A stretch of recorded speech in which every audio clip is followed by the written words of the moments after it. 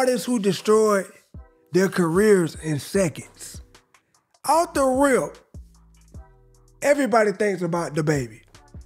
Me personally, I don't think he destroyed his career. I feel like he slowed it down because he still he still get decent views. He's still getting the streams. Uh, whether y'all like it or not, he's still selling out shows, just not in the United States. But hey, money is money. It don't it don't matter where you get it from. And uh, I got a couple other names that I could probably come up with, but based off this thumbnail right here, I'm curious to see what these people did. I can't remember what CeeLo Green did, Macklemore. I think I remember kind of what Macklemore did. We finna get into it, man. 19 minutes. Let's get it. These artists' careers were never the same after one incident, whether it was from their own terrible decisions or a minor misstep that got blown out of proportion. Today we are going to discuss them all starting with Macklemore, who leaked a text message that made everyone question what they thought they knew about him. In 2012 oh, and 2013, you could not go anywhere without hearing the song Thrift Shop. Far from your typical rap song, Macklemore flexed $20 and had suburban moms dancing to his funky saxophone. This song spent six weeks at number one on the Thrift Shop. I'm, hey, I'm gonna react to that. I don't think I, I don't think I heard that, bro. Billboard Hot 100. Mac had one hit wonder written all over him. He carried the most stereotypical white rapper image that is perceived as corny by hip hop oh, culture, oh, but he Lord. proved everyone wrong with his second hit, Can't Hold Us, which spent five weeks what? at the number one spot. This track was definitely more of a standard pop track, but two Billboard number ones in his first year as a mainstream artist stamped that he was a force. Hey, whether you like it or not, a billion views, nigga, that ain't that ain't luck. Whether you like it or not, that's not luck. It it ain't too many artists that got a billion views, bro.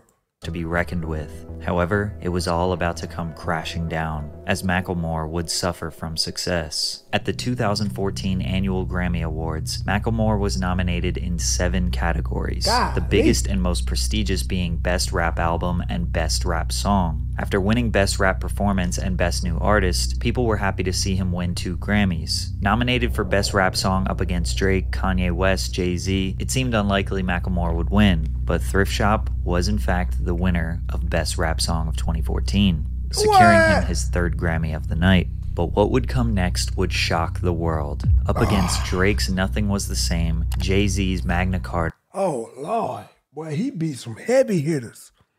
This is one of Drake's best albums right here, nigga. The world up against Drake's nothing. That is one of Drake's best albums right there, man was the same. Jay Z's Magna Carta, Kendrick oh. Lamar's Good Kid, Mad oh, City, oh, and Lord. Kanye West Yeezus. Macklemore had absolutely no chance of winning. Everyone was betting on Kendrick since he without a doubt had the best album of the bunch, but wouldn't be entirely surprised if it went to the other nominees. The hip hop community was floored when Macklemore and Ryan Lewis's The Heist won Best Rap Album of the ah, Year. The Heist couldn't be a more way. fitting name. Ain't no way. Ain't, ain't no way. Bro, how, bro, I, bro, I don't know if I just don't care about the Grammys, but ain't no way. How the hell Kendrick didn't win that? What? What? For this absolute robbery. Macklemore was being cooked by the hip hop community online, reminding him in every comment section that he didn't deserve to win. He felt so much pressure that he decided to text Kendrick Lamar and apologize. You got robbed. Oh, Lord. Oh, why, nigga? Why? You won. Move on, nigga. They can't take it away from you. What did he say? He say, I'm going to let him read it.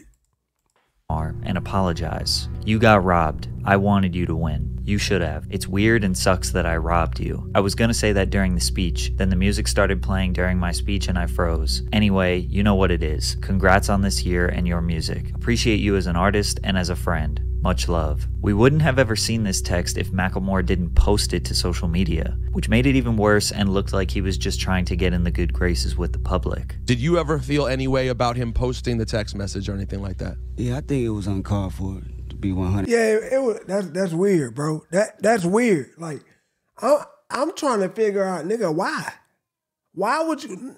If you text it, text it. But why post? Why post that, nigga? Like he said, bro was just trying to get in good with the public. You ain't even have to go do all that, bro. With you, um, when he sent it to me, I was like, okay, you know, I could see him feeling that type of way because he a good dude. But um, I think for for confirmation from the world, you know, he probably felt like he had to put it out there, which he didn't need to do. He didn't do it, but exactly, Don't bro. take nothing away from him anyway because I know where his heart is at. He cool. Despite Kendrick being cordial and saying that Macklemore meant well, hip hop fans could never truly accept They don't Macklemore as a part about of the culture. They thought he was disingenuous, and they didn't really like his music in the first place. I ain't even gonna lie. Far far as being part of the culture, I don't even know who this nigga is still after all this.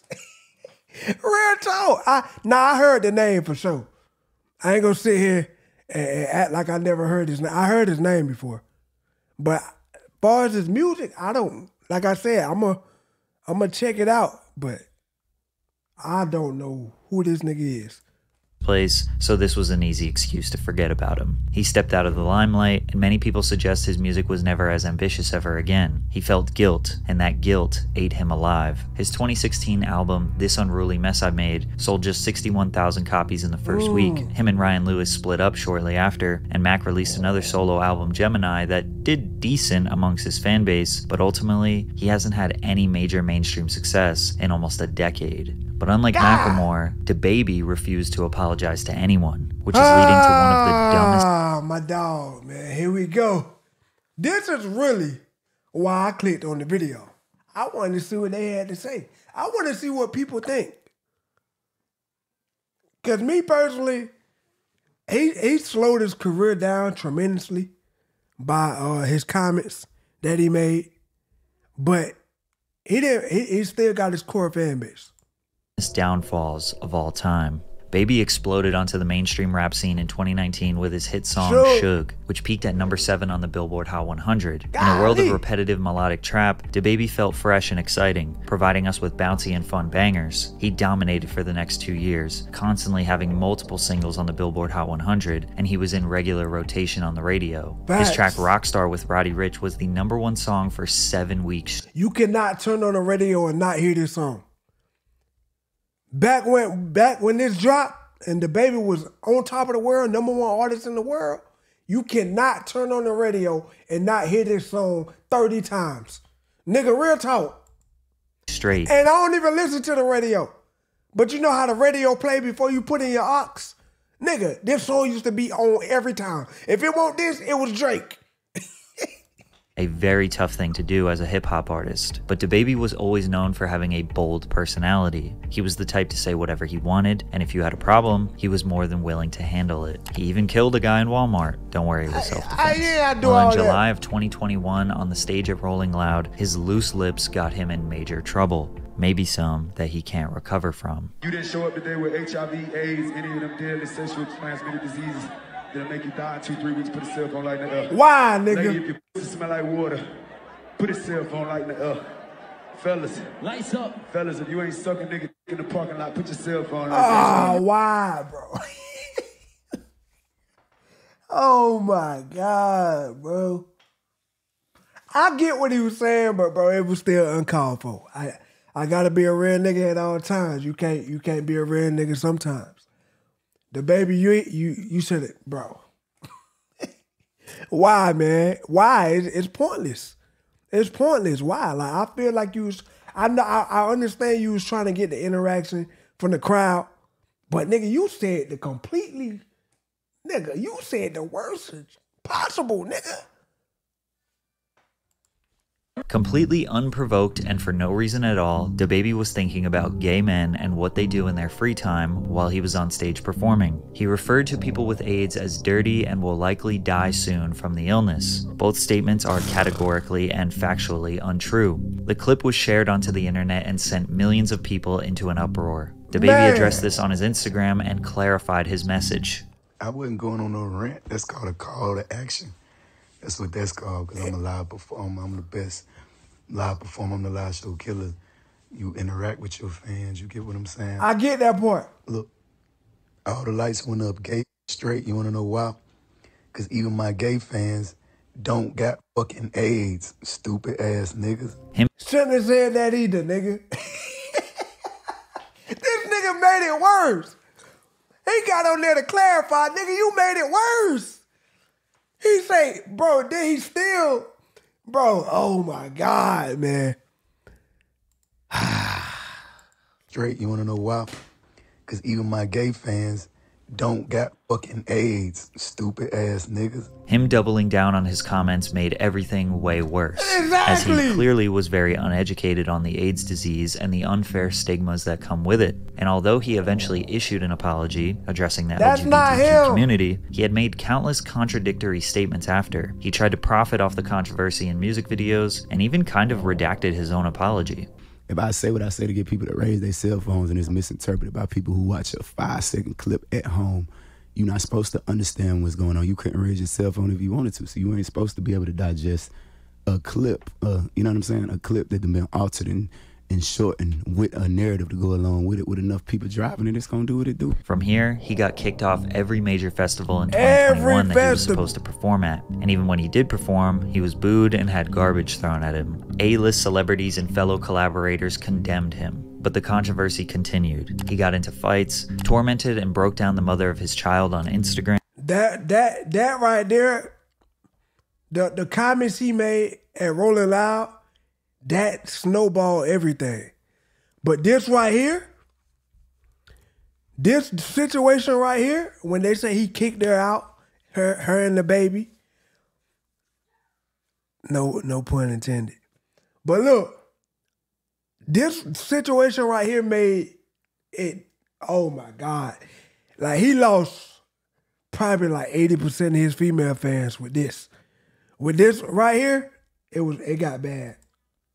Tried to kiss one of his fans without consent. DaBaby was Oh, not Lord. trying to save face. He just kept saying, I'm sorry for being me. His ticket sales plummeted, which resorted to him offering buy one, get one free deals to fill out the venues. One report alleged that he only sold 500 tickets to a venue that holds 14,000 people, and he claims to have lost $30 million because of the controversy. What, what were the a week or two after.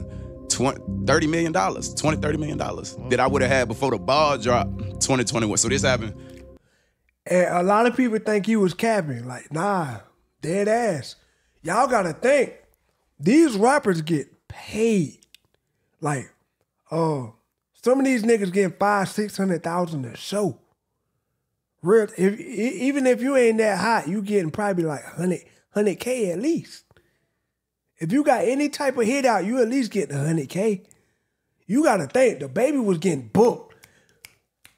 Like he was he was finna go on tour. He had the number one song in the world. Couldn't even tour. Because of all this. Rolling out with what, July? I had $30 million worth of shows on the schedule before Crazy. Uh, December 31st. All he had to say was, put your hands in the air if you just don't care, and all of this could have been avoided. if you think man. what DaBaby said was bad, you'll be horrified by what CeeLo Green said in a What series of questionable CeeLo! tweets. If you don't remember the name CeeLo Green or his Ah. previous duo Gnarls Barkley, you definitely remember his two most iconic songs, Crazy and Forget You. Crazy peaked at number two on the Billboard Hot 100 and spent 29 weeks on the chart. Forget You, which he released solo four years later, also went number two on the Hot 100 after spending almost a full year on the charts. CeeLo had a very unique voice and was undeniably talented. He pretty much only gave us two hits, but was an ever-present pop culture Hey, this nigga CeeLo a funny looking dude, boy. this nigga got the perfect head to be bald. this nigga head is per- perfectly symmetrical to, to have a bald head, nigga. Ain't no way. This nigga head look like a thumb. undeniably talented. He pretty much only gave us two hits, but was an ever present pop culture figure throughout the early 2010s. Whether he was hosting an award show, his own reality show, voice acting, or being a judge on The Voice, CeeLo was loved and appreciated until some shocking allegations What- arose. what you did, CeeLo was accused by a 33 year old woman he dined with at a downtown Los Angeles sushi restaurant of placing ecstasy, also known as MDMA or Oh, Molly, in her drink. The woman later told Los Angeles police detectives she woke up naked in bed in her hotel room with Green. CeeLo allegedly admitted to law enforcement that he took ecstasy, but denied drugging the woman's drink or committing sexual assault. CeeLo's sexual oh, assault Oh, charges were dropped after prosecutors concluded there wasn't enough evidence to take that accusation to court, but he was found guilty on drug charges, which landed him three years probation. But it wasn't the nature of the charges that ruined his career. It's what he said on Twitter after the case. What was this nigga? After being criticized by Why, bro? Why do why do y'all do why do these niggas do that, bro? Y'all y'all get in the clear and y'all go make it worse. It's ego, bro. It's ego. I'm telling you. It's these niggas' ego. Nigga, be quiet, nigga. You making the hole deeper for man. Come on, man. Ah. Bro, you got found not guilty. You innocent of the sexual assault charges. You still got the drug charges. But like he said, that ain't what ruined you. You want to get on Twitter and say, I don't know what. We finna find out. Why, nigga? Just be quiet, man. There wasn't enough evidence to take that accusation to court, but he was found guilty on drug charges, which landed him three years probation. But it wasn't the nature of the charges that ruined his career, it's what he said on Twitter after the case. After being criticized by people in public tweets, he decided to respond. Women who have really been R worded, remember, but point taken. Upgrade your vocal mix from this How can we- What? What? What? Nigga, what is you talking about? Oh nah, this nigga, bro, this nigga deserve to fall off. This saying that dumb man ain't no way. Ain't no way CeeLo said that, bro. this. Ain't no way this So nigga I this stupid, bro. Ain't no way this nigga this stupid. It's no way. Ain't no way. Why? Women who have really been R worded, remember, but point taken. So if I tried but did not succeed, but the person said I did, then what really happened? When someone breaks in a home, there is broken. What? Nigga, what? Oh my God. Oh Lord. No, no, bruh. Oh my God. Nigga, is, is you stupid? CeeLo, is you stupid? Class, where is your plausible proof anyone was R worded? If someone passed out, they're not even with you consciously, so with implies consent. It's hard to see what point he was trying to make What? here, but the blogs were not holding back. CeeLo, it's not rape if you forget. CeeLo Green, it What? isn't rape if the victim is unconscious. After these tweets, his reputation was destroyed. He lost all of his live performance bookings. He quit The Voice to avoid being fired. His No TV way. show was canceled, and he basically disappeared from the pop culture zeitgeist, pretty much surviving off royalties and small film roles here and there. But I guess him and I are friends now? Yo, Pat, what's up, man? Uh, I'm assuming that your friends call you Pat, My friends do call me Pat. What? So and um, I consider myself to be one of your friends. I consider myself to be one of your friends. The next person on our list lost her career from something that was totally out of her control. In fact, it may have even been a setup. Janet Jackson is a woman who needs no introduction. She is the youngest of the nine iconic Jackson family siblings. Although she was not a part of the original Jackson 5, she would go on to have a massive solo music career. Jackson signed the first of two record breaking multi million dollar contracts with Virgin Records, establishing her as one of the highest paid artists in the industry. She was named by Billboard magazine in the 90s as the second most successful This nigga just said she don't need an introduction and proceeds to tell us everything about Janet Jackson.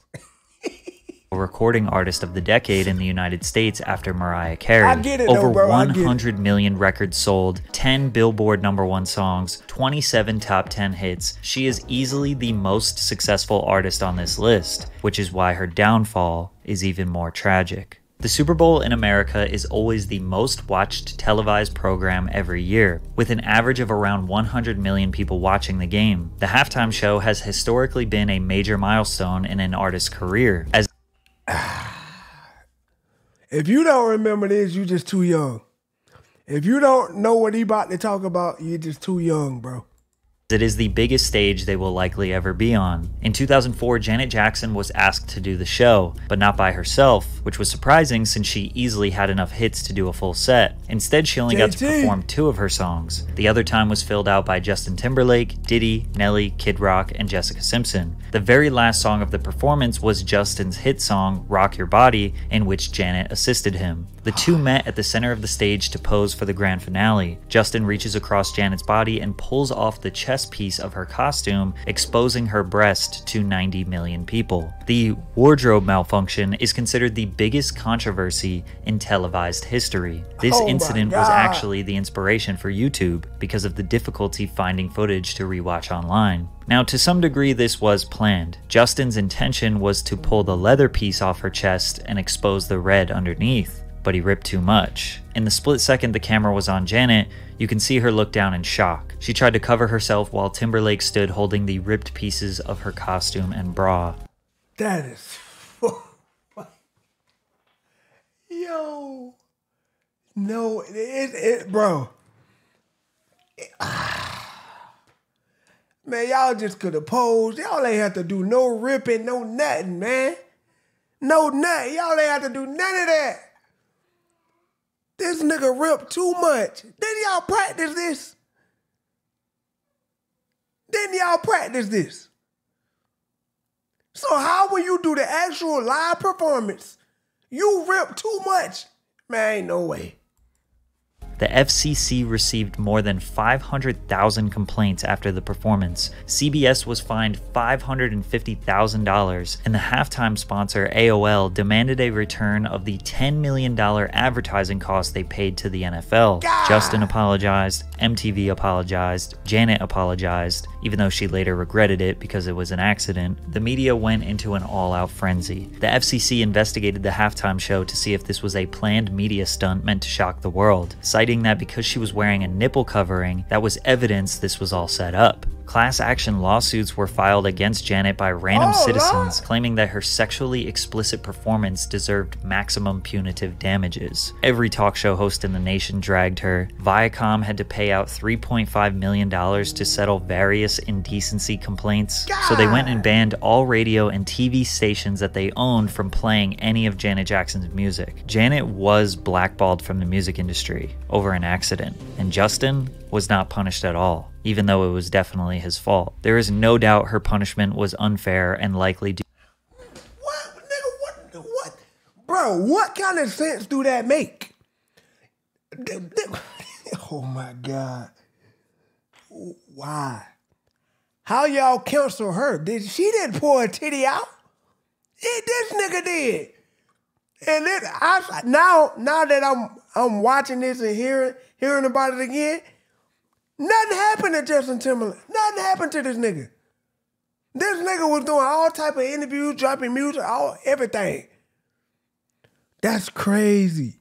due to her gender and race. Her career after that wasn't totally dismantled. She did have a number one album, a Grammy nomination, some light Billboard presence, but this incident lingered like a dark cloud over her head for many years, and slowly she faded out of the mainstream. I am one of those women, women who have been gagged, both literally and emotionally, women who have been abused, women who have been intimidated, women who have lived in fear. I stand with you. You are my sisters. However, today most people can all agree that this was just an overreaction, and she is still highly regarded as one of the most iconic pop stars of all time. Overreacting to small Definitely mistakes seemed to be common in the early 2000s because this next artist's career was destroyed by something so small, it's almost unbelievable. Ashlee Simpson was the younger sister of the already famous pop star Jessica Simpson, who I, I, I don't think I remember this right here. I don't think I remember this. Was a multi-platinum Billboard charting recording artist. She also had her own MTV show. Newlyweds, Nick and Jessica was one of the most popular programs on the network. MTV wanted to capitalize on the Simpsons sisters' newfound fame and gave Ashlee her own series called The Ashlee Simpson Show. The series that. ran for two seasons and aired every week on MTV directly after Jessica's show. Viewers who were invested in Jess were introduced to Ashlee immediately after. Ashlee was desperate to not live in the shadows of her sister. She dyed her naturally blonde hair brown and built a pop punk image to complement her pop rock music. Her album's lead single, Pieces of Me, became an instant hit in the United States. The song peaked at number 5 on the US Billboard Hot 100 number and sold over 500,000 copies nationwide. Ashlee's debut album was released soon after, with an estimated 398,000 copies sold in its first week. Worldwide, the album sold more than 5 million copies. She had a bigger debut than her sister, but her career ended just before it took off. Saturday Night Live 2004. Ashlee Simpson was set to perform her single Pieces of Me Hold on, hold when on. this happened. Hold up, hold up, hold up, hold up. I think I think I know. If a scammer gets on your system, they're going to live on there. They'll go through things like your photos, on your browser, your email. On a I, I think I think I remember. Hold up. Monday,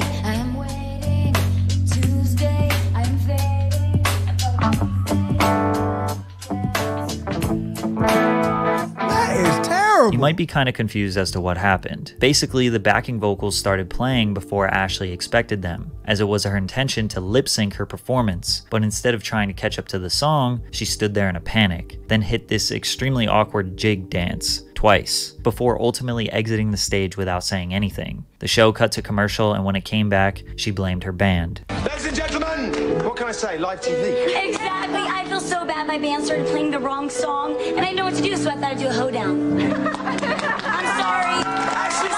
If she just told the truth right away, she may have been able to avoid the backlash. But instead, Ashlee became a laughing stock. On a Monday, you saw me. On Tuesday, you called me. On Wednesday. What? That is terrible.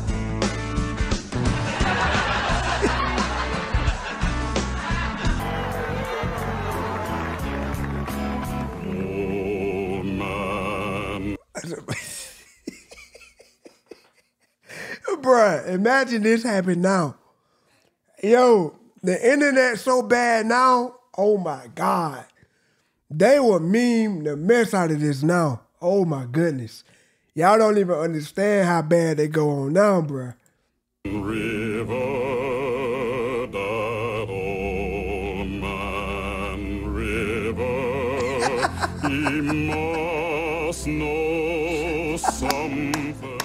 Even news anchors poked fun at her. Sister's performance on Saturday Night Live was, well, out of sync, you could say. All right, sorry, we had to do that. It was just our own little lip syncing adventure. We were mocking her. At just 19, she was publicly ridiculed by the world. 19 and this is is all crazy. especially ridiculous considering today's standards are much lower. It almost feels like lip syncing isn't even a real thing.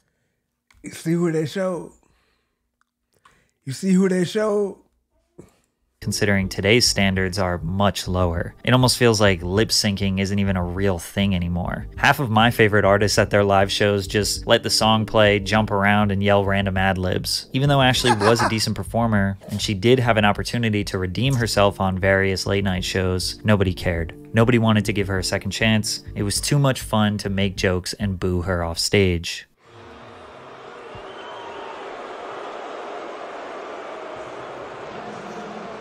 She did have a moderate comeback with her single Boyfriend in 2005, and her second album eventually selling 3 million copies worldwide, but she had already seen the peak of her music career, and as it slowly dwindled away, she maintained her relevance in the 2010s through relationships, various television projects, and her own social media. But the last person on our list has the most unexpected, shocking, and horrifying incidents that landed them in prison. In Oh, 2015, the world was dancing to Silento's hit song Watch Me. The song paired with the massive viral dance, the whip and the nae nae. All of social media was flooded with videos of people doing the dance, with Vine and Instagram peaking That's that's all I remember. I remember the dance and the song. That's it. I don't remember. I don't remember him.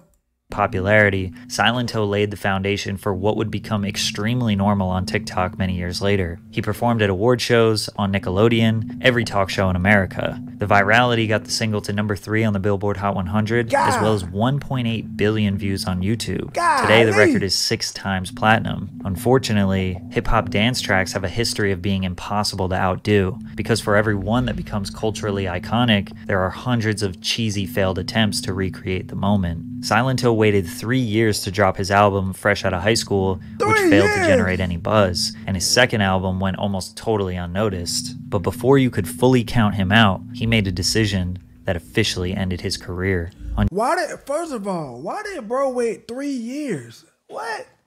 I understand one, but three? Then you like you let all your hype die. January 21st, 2021, the 23 year old rapper was arrested for the murder of his cousin, 34 year old Frederick Rooks, after a shooting in DeKalb County, Georgia. Police said officers found Rook suffering from multiple gunshot wounds at a home off of Deep Shoals Circle. He was pronounced dead at the scene. Investigators did not have a suspect at the time. Responding people? officers were able to obtain video from the security cameras of multiple residents and later identified Hawk, or Silento, as the gunman. Silento was arrested February 1st, 2021, and then later indicted by a Georgia grand jury on four felonies one count of malice murder, one count of felony murder, aggravated assault, and gun possession during the commission of a felony. As of now, the court has deemed Silento unfit for the safety of the public and will remain incarcerated until further trial. Since the trial has not started yet, we don't know how he did it, we don't know why he did it, and we don't know how long he might be in jail, but we do know Boy. is that his career is officially over. That boy, that's tough. That's tough right there, boy. Golly. Boy, you went from boy, you went from getting one point something billion views, six times platinum. Number uh, what what number on the billboard? Number three? Did they say number three? You went from all that fame and exposure to ruining all that by killing your cousin. Wow. I low key, I, I remember that now that he uh that he brought it back to my memory, but uh I low key forgot about that nigga, bro. Like real talk, that's crazy, man. That's crazy. I might watch this. This might be a good one right here. But uh, y'all let me know if y'all if y'all if y'all rock, rock with these type of videos, man. Uh, people were sending it to me, I guess, after Dante reacted to it. So uh, I decided to check it out because I like the the title caught my attention. So I know y'all are rock with it, man. Y'all let me know in the comments what y'all who who who had the worst fall off. Well, who ruined their career? Well, the last nigga definitely was the worst, but which situation y'all think was worse other than the murder? I think uh I ain't even gonna lie, I think DaBaby's the worst though. I ain't even gonna lie.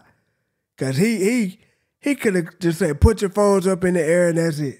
But y'all let me know, man. I'm gone.